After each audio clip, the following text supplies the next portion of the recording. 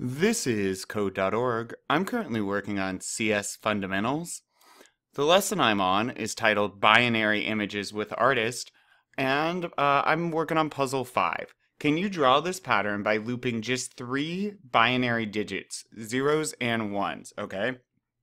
Well, let's see. The artist starts up here, I know, and zero is off, one is on, just like in a computer, right? At the base language of a computer is binary language and what they understand zero means off or false and one means on or true.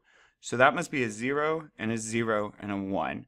Okay, but then zero, zero, one. Okay, then zero, zero, one.